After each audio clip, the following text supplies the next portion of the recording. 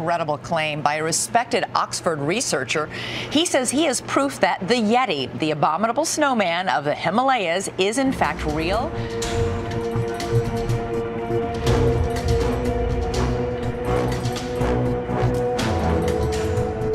भर्खरै मात्रै सुन्नुभएका जस्ता समाचारहरू खबरहरू हामीले धेरै सुन्दै आएका छौँ यति साँचो हो यति इज रियल यति भेटियो मैले यति देखेँ यी सबै भन्ने धेरै मान्छे आएका छन् र यतिमा धेरै धेरै खालका रिसर्चहरू भएका छन्। के यति साँच्चै हो त?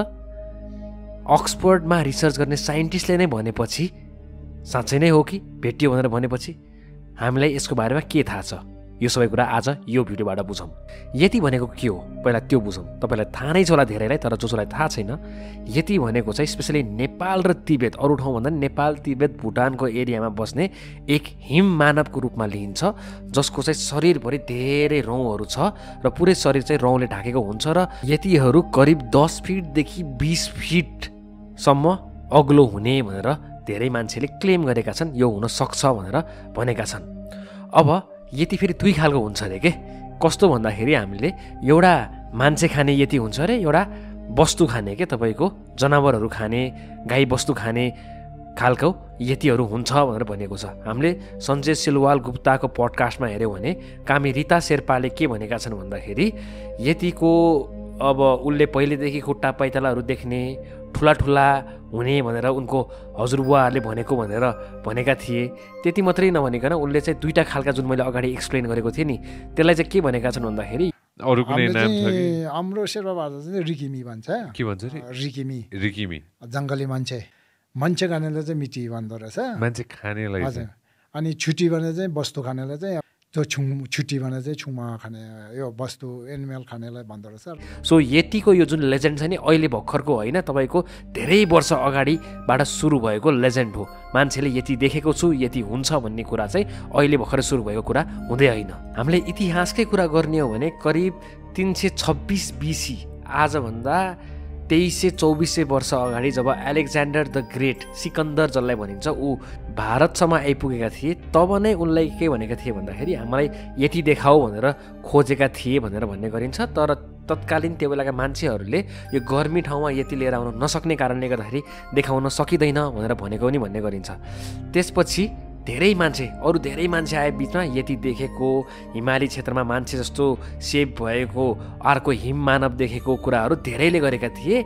स्पेसल्ली उन्नाइस सय एक्काइसमा चाहिँ हेनरी न्युमन नामक एकजना पत्रकार थिए जसले चाहिँ ब्रिटिस एक्सप्लोररहरू ब्रिटिसहरू जो चाहिँ हिमाल हेर्न आएका थिए उनलाई सोद्धाखेरि के भनेका थिए भन्दाखेरि करिब दसदेखि बिस फिटको हिम मानव उनीहरूले देखेको थिए भनेर कुरा गरेका थिए र यो मानव चाहिँ अलिकति डरलाग्दो खालको होइन मार्न सक्ने खालको भएको कारणले गर्दाखेरि त्यसलाई चाहिँ तत्कालीन हेनरी न्युमनले उसलाई अबोमिनेबल ह्युमन भनेर चाहिँ एउटा नाम दिएका थिए जुन एकदमै पपुलर भयो। तर यो विश्वमा यति भन्ने शब्दको कुराको पपुल्यारिटी चाहिँ कहिले आयो भन्दाखेरि उन्नाइस सय एकाउन्नमा जब एउटा एरिक सिप्टन भन्ने एकजना मान्छे यो नि इङ्ल्यान्डकै मान्छे थिए जो चाहिँ एभरेस्ट एरियामा चाहिँ चढ्ने बाटो एक्सप्लोर गर्न आएका थिए कसरी चढ्न सकिन्छ भनेर हेर्न आएको थिए त्यो बेला के गरेका थिए भन्दाखेरि उसले चाहिँ एउटा ठुलो खुट्टाको डाम भेटे के जसको उसले फोटो पनि खिचेका थिए। र यो फोटो खिचेर चाहिँ यत्रो ठुलो खुट्टा भएको जनावर चाहिँ जुन चाहिँ पहिला यति यति भनिन्थ्यो नि हो यो चाहिँ यतिको खुट्टा हो यो चाहिँ द अबोमिनेबल ह्युमनको खुट्टा हो भनेर न्युजमा पब्लिस गरेको थियो जुन चाहिँ संसारमा अहिले हामीले भाइरल भनिन्छ नि तत्कालीन बेलामा भाइरल भएको थियो र संसारका धेरै मान्छे यतिको खोजमा लागेका थिए। त्यसरी नै तपाईँले नाम सुनेकै मान्छे सर एडमन्ड हिलरीले पनि यो एभरेस्टमा चाहिँ यतिको टाउको एउटा सर्टेन भाग कपालको यो स्क्याल्प हुन्छ नि त्यो भेटेको भनेर बोकेर आएका थिए। त्यसरी नै अर्को यति देखिएको वा भेटिएको कहानी भनेको चाहिँ नेपालको एउटा गुम्बामा छ जहाँ चाहिँ दुई तिनजना मान्छे गुम्बाका मान्छेहरू हिमालतिर जाँदाखेरि चाहिँ एउटा गुफा भेटेका थिए र त्यो गुफाभित्र चाहिँ यति बसिरहेको कुरा गरेका थिए र फेरि अर्कोचोटि जाँदाखेरि उसको मृत्यु भइसकेको र उसको चाहिँ शरीरको एउटा सर्टेन भागहरू हुन्छ नि तपाईँको उसले चाहिँ त्यही गुम्बामा फिर्ता लिएर आएर राखेको कुरा देखाइएको थियो।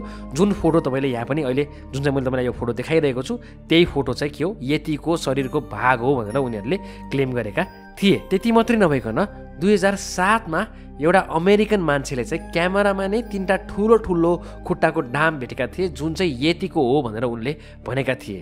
दुई हजार एघारमा पनि रसियन रिसर्चरहरू जुन चाहिँ नेपालमा आएका थिए एउटा समूह उनीहरूले के भनेका थिए भन्दाखेरि यतिको औँला भेटेको भनेर उनीहरूले क्लेम गरेका थिए र त्यो औँला लिएर गएका थिए।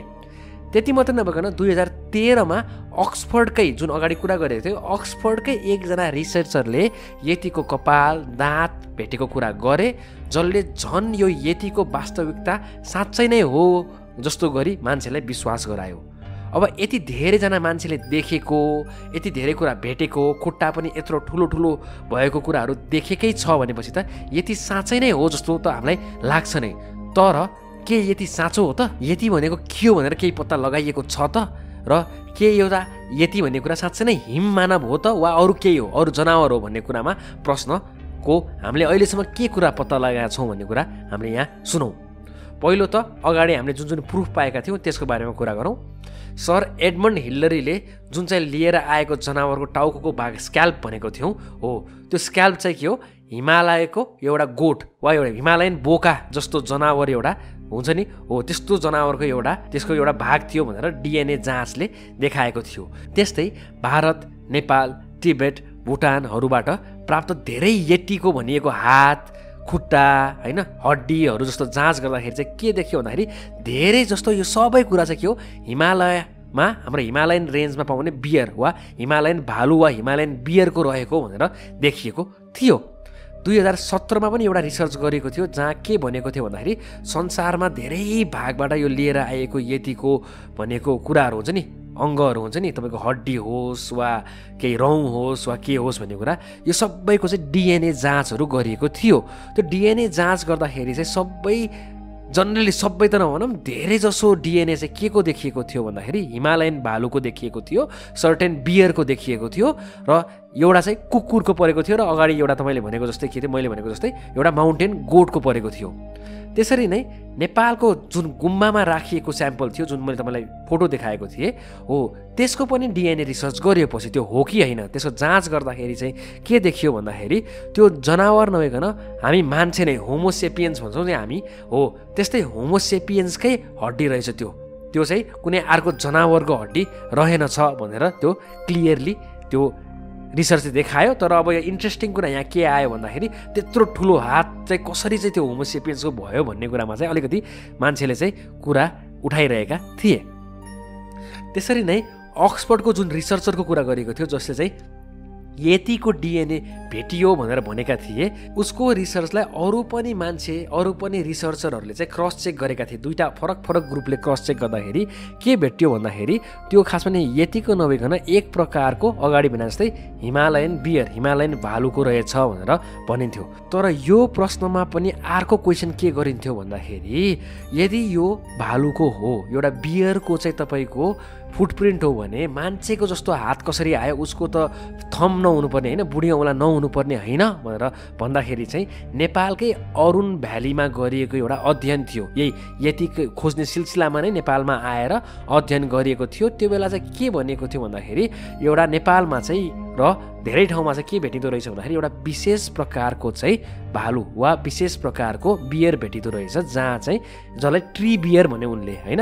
रुखमा बाँच्ने बियर। जो चाहिँ सानो हुँदादेखि नै रुखमा बस्दो रहेछ र उनीहरूले जुन खुट्टा छ त्यो चाहिँ स्पेसली बुढी औँला त्यो रुखमा बसेर समात्नको लागि चाहिँ के गरेका थिए? डिफ्रेन्ट तरिकाले उनीहरू इभल्भ भएका थिए र उसको त्यसरी थम बाहिर निस्किएको थियो।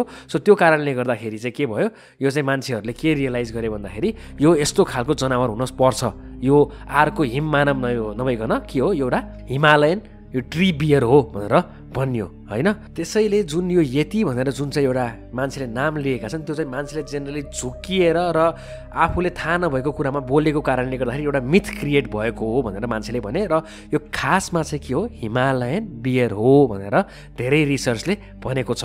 अब त्यस्तै हामीले अर्को के हेर्न सक्छौँ भन्दाखेरि हिमालयन भागका जानकारहरू जो त्यहाँ बस्नुहुन्छ नि उहाँहरूले चाहिँ के भन्नुहुन्छ भन्दाखेरि यतिको कहानी खासमा किन आएको हो? भनेर बुझ्दाखेरि उहाँहरूले के भन्नुभयो भन्दा हिमालमा एक्लै हिँड्न डरलाग्दो हुन्छ ज्यान जान सक्छ।